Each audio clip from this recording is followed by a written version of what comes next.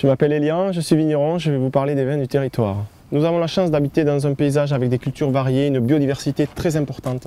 Les vignerons s'attachent de plus en plus à respecter la nature et de plus en plus travaillent en culture biologique.